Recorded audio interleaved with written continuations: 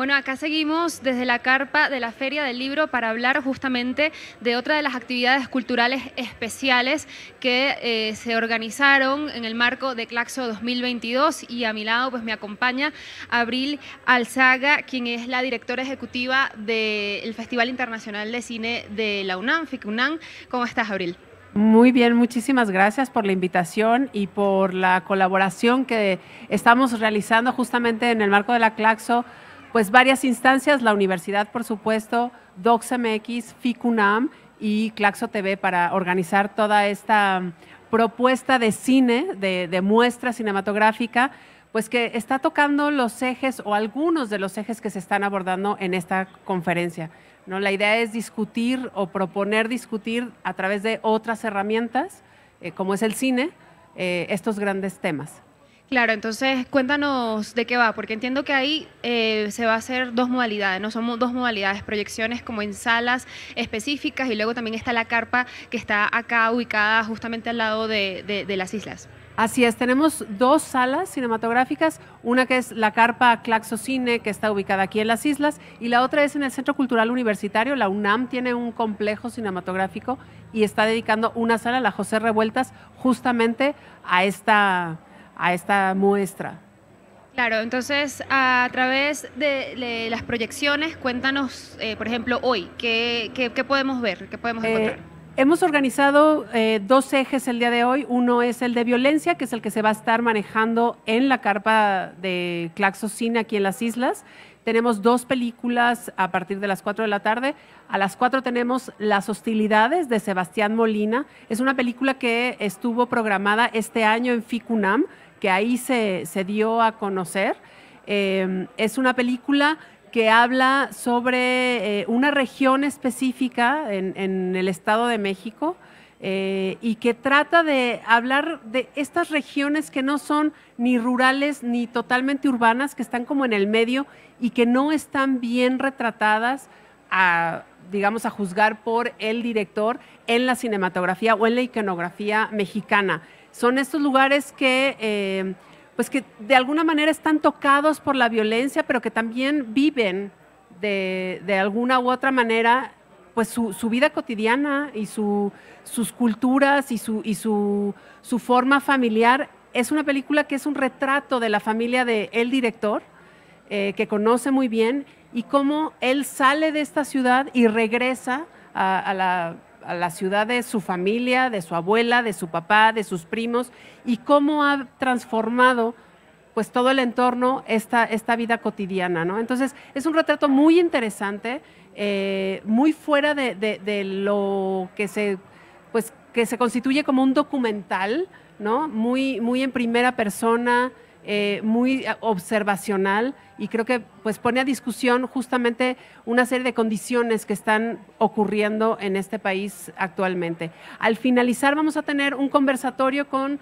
Jacobo Dayan, que es un especialista justamente de estos temas, es el director de, Tlatelolco, del Centro Cultural Tlatelolco. Vamos a estar también con Karina Solavere, eh, una especialista del Instituto de Investigaciones Jurídicas eh, de la UNAM y bueno, van a estar eh, moderados ahí por Pau Montagut. Y al finalizar tendremos Noche de Fuego, que es una película que retrata justamente las violencias que viven las mujeres en la Sierra Mexicana eh, y que están retratados magníficamente por Tatiana Hueso, yo creo que con una sensibilidad muy especial, en donde habla de un tema muy duro, sin violentar al espectador y sin eh, ponerte, digamos, en primer plano la, violencia, digamos, gráficamente, ¿no? Yo creo que es una, película maravillosa que, vale mucho la pena verla.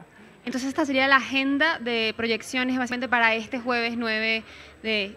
No, eso es aquí en las islas y además en la José Revueltas estamos abordando el tema de género, de, feminismos, de las luchas de género y eh, tenemos la película eh, de Dora García, Si pudiera desear algo, es una película que, con la que vamos a cerrar este ciclo y abrimos con una magnífica película, yo creo que, em, pues, que, hemos tenido la fortuna de presentar en esta, en esta muestra de Lucrecia Martel, Terminal Norte, que tiene como fondo eh, justamente esta sororidad de mujeres comprometidas desde el arte con esta lucha feminista, pero que en realidad en primer plano lo que está poniendo es la posibilidad de convivir tras dos años de, o bueno, tras un año de pandemia, ¿no? En donde no podía hacerse nada en Argentina y de pronto pues tiene la posibilidad de cambiarse a Salta y de a partir de que le cancelan a Julieta Lazo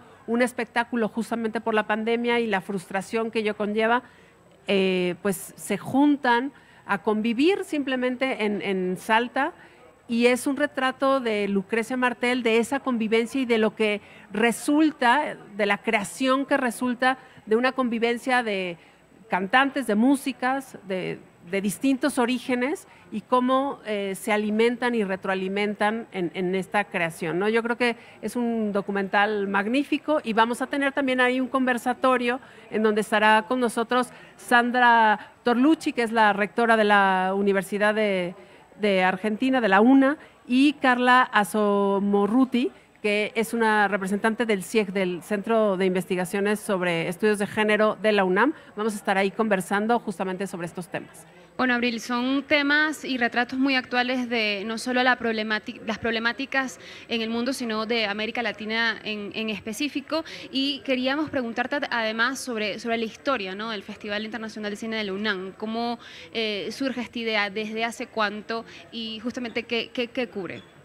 El Festival eh, de la UNAM es un festival que empezó hace 12 años con la idea de abrir un espacio hay un cine que tenía cerradas las puertas absolutamente del cine comercial. De pronto hubo como un regreso a solamente dedicarse a lo comercial, a, los grandes títulos, eh, sobre todo de Hollywood, y dejando de lado pues cinematografías eh, de otras latitudes y de autor. Y justamente lo que hace Ficunam es poner en la mesa pues eh, estas cinematografías que están hablando de problemáticas o de eh, pues no sé, intereses distintos y que se salen de la caja de, un, de una programación eh, pues de, molde, ¿no? Que es la que percibimos que, llega de Estados Unidos. Entonces, es abrir al espectador pues todo un universo que queda de lado en la cartelera comercial. Ese es el espíritu con el que nace FICUNAM y que hemos venido sosteniendo a lo largo de 12 años y que venimos trayendo justamente cinematografía latinoamericana que de pronto se dejó de, programar en México eh, o eh, solamente en, espacios como muy de nicho y bueno, FICUNAM lo que quiere es abrir esos espacios.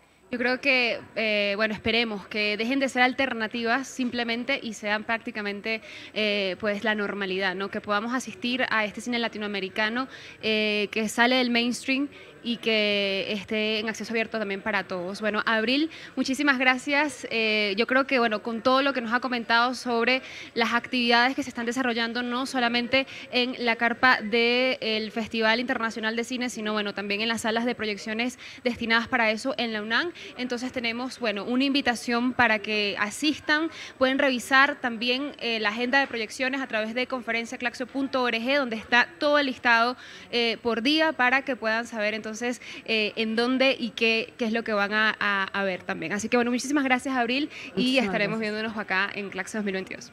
Muchísimas gracias a ustedes, hasta luego.